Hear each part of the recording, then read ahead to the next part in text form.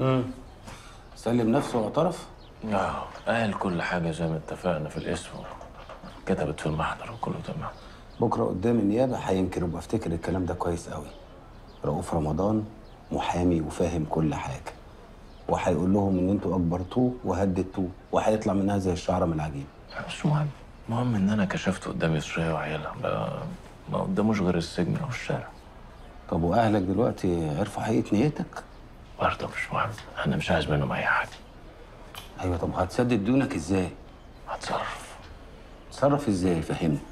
يا حلمي خلاص بقى ما بعدش فارقة وأنا معترف بالهزيمة. ما- بليغ أنت ما اتهزمتش؟ واوراق الضد اللي موجودة هنا هرفع لك بيها قضية وهتكسبها. وهي الأيام أثبتت إنهم محتاجين لك. وأنت بتنقذ أهلك كل يوم من كارثة ورا التانية. ما منه بقى خلاص يا حلمي.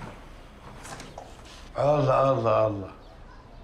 رب صدفة خير من ألف معاد يا أولاد. يا أخي أنت ليك عين تيجي في أي مكان أنا فيه. أنا مش جاي أتملى بوشك السمح أنا جاي للمحامي حلمي صنع الله. بقول لك يا أبو حلمي أنا جاي يعني في واحد ابن حرام واطي كده اتبلى عليا وبيقول إن أنا يعني حرضته إنه يحول قتل أخين شقيقين من حادثة مدبرة لموت قضاء وقدر.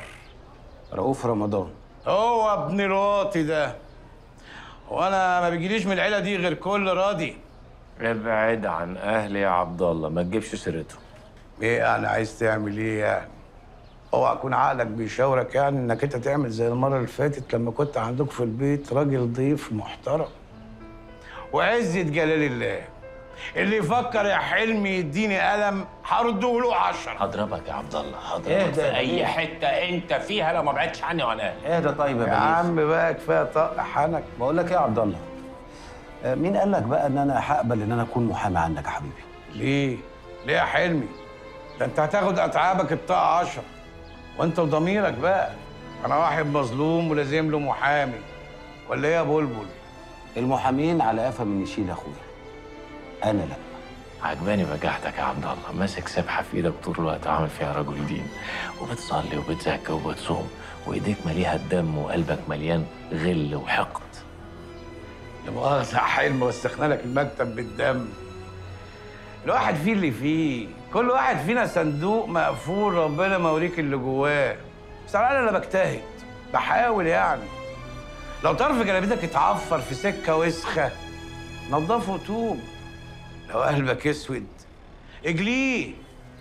لو لسانك اتزفر اتمضمض. وربك غفور رحيم. هيفضل في البلاعة طول عمره. هتفضل في مكانك يا عبد الله. وحتى لو خرجت من البلاغ بتاع رؤوف رمضان ورحمة أبويا وام الغالين ما هسيبك. جعجع وسمعني وقسم يا معلم. أنتوا إن شاء الله لا هتنزلوا في الحضيض لسابع أرض. ده كفاية أولاد إخواتك اللي اتجرجروا على الاسم من شوية. الله يكون في عونهم. إيه شكلك اتفاجئت ولا إيه؟ انت ما تعرفش. يا أخي كانت قطع لساني ما قلتش. أنتوا اللي هتنزلوا في الحضيض إن شاء الله. لا والعيال غلابة يا عيني توتو. واخدين على العز واكل الوز. استنى يا بليغ. بليغ استنى أنا جاي معاك. يبقى تعال إيدك في العيش والحلاوة الموضوع هيطول يا بلبل. بقول لك إيه يا عبد الله؟ اقفل المكتب وراك. عينينا نقفله.